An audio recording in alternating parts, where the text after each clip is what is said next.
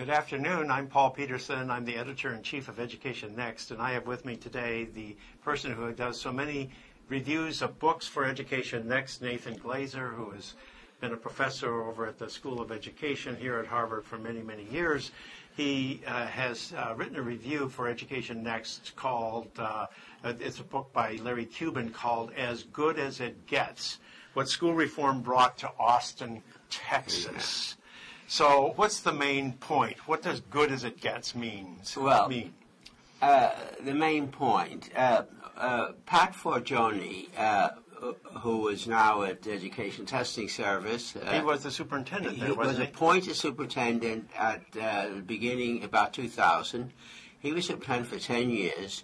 He had many difficult problems when he came in the Austin uh, school district had, was having trouble with the state because it had. Uh, so what did he do? What did he do to fix what did he do? Up?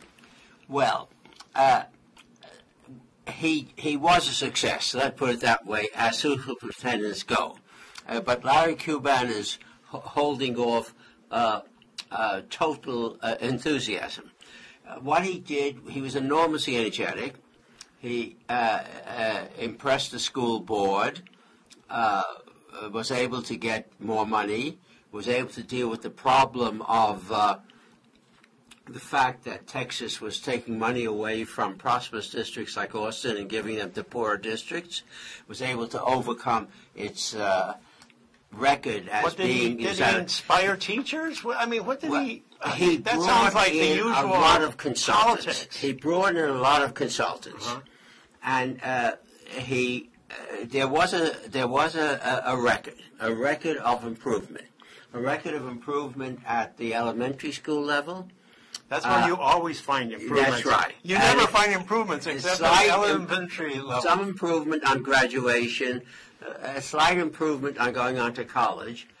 Uh, and Larry Cuban's main point, and he does have a main point, is he was enormously energetic and very successful but politically. But this is not as good as it gets.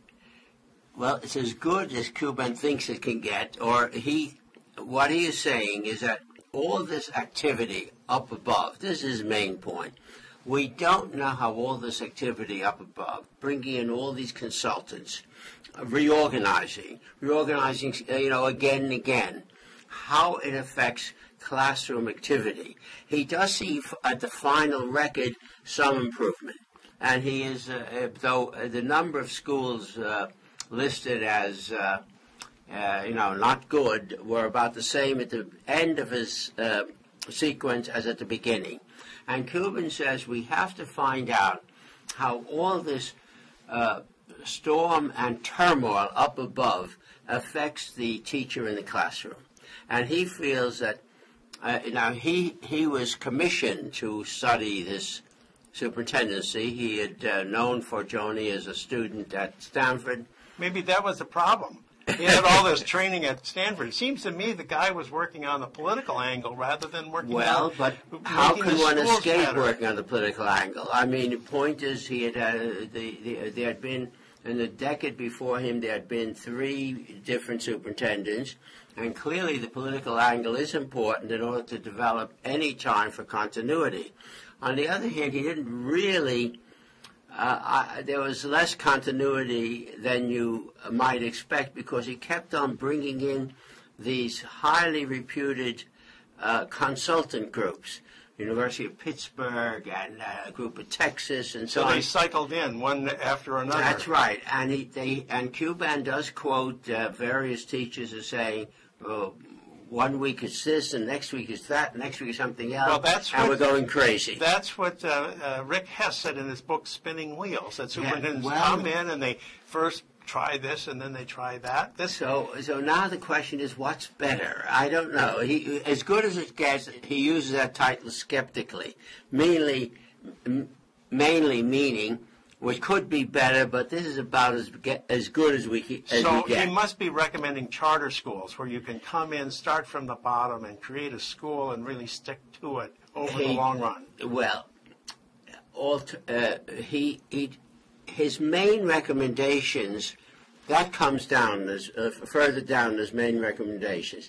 His main recommendations are I want to find out what all this turmoil on the top does at the classroom level. We have need more examination, more uh, monitoring. How does this affect uh, teachers? So anecdotally, he indicates it affects them by confusing them, but possibly also uh, to some extent drawing more energy out of them, drawing more energy out of the principals and so on, getting something out of them. His second. So change is good for its own sake. Uh, well, you paint the walls green, then you paint them blue, just so you. Well, he's change. not saying that. He said it turned out, that, turned out that all this activity did lead to some improvement in the results. Now he does not. Uh, this is not where he wants to stop. He wants to know. Uh, he wants to go to the classroom level. Uh, by the way, his first uh, three recommendations, as I recall, are first monitoring. Secondly, don't neglect the top schools, which is interesting because all this energy was bringing up uh, the bottom schools, getting them out of the uh, whatever rating they had as uh, uh inadequate. Uh, the third, uh, so the second is that we should not forget the top schools yeah, yeah. and give them more freedom. He moves there in the charter and direction. Give them more freedom to do things. Yeah. Because, and what's his third recommendation? His third recommendation is work the bottom. Schools. Well, then that's saying work the top, work the bottom. Okay, Nathan, okay. this is a really fascinating uh, discussion. This is as, as and, this and, is and the book does sound to me like it's uh, it's a good read. It's a good read. He's a good writer, and and Forgione, he was listed uh, uh, uh in the standard uh, accounts with the best school superintendents of the first decade of the millennium. Well, thank you, Nathan, for being okay. with us today. Right now.